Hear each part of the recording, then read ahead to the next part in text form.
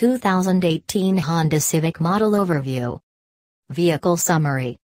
The 10th generation Honda Civic was introduced for the 2016 model year and, thanks to a more spacious interior, the slightly larger compact car is now classified by the EPA as a midsize car where the previous generation was considered a compact.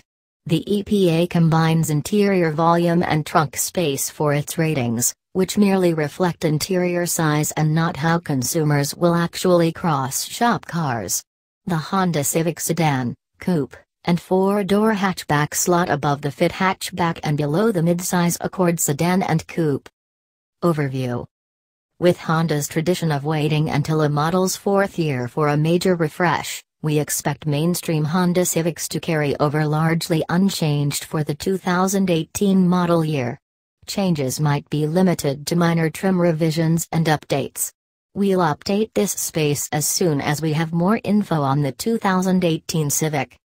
In the current model, the base engine is a 2.0-liter i4, LX and EX on the sedan, LX and LXP on the coupe, and is mated to either a 6-speed manual, LX, or CVT, LX, EX, LXP.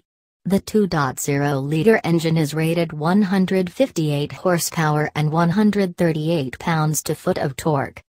Unavailable turbocharged 1.5-liter i4, sedan, Coupe EX-T, EX-L, Touring, Hatchback LX, Sport EX, EX-L Navi, Sport Touring, makes 174 to 180 horsepower and 162 to 177 pounds to foot depending on transmission and trim. The turbo engine is backed by either a 6-speed manual, sedan, coupe EX-T, hatchback LX, sport, or a CVT, sedan, coupe EX-T, EX-L Touring, all hatchback trims. Civic Sport and Sport Touring hatchback models with the CVT feature dual-mode paddle shifters. A high-performance Civic Si sedan and coupe with a more powerful turbo 1.5-liter i4 will be released midway through the 2017 model year. A top-spec 306 horsepower Civic Type R hatchback with a turbocharged 2.0-liter i4 also arrives in 2017 as a 2017 model year vehicle.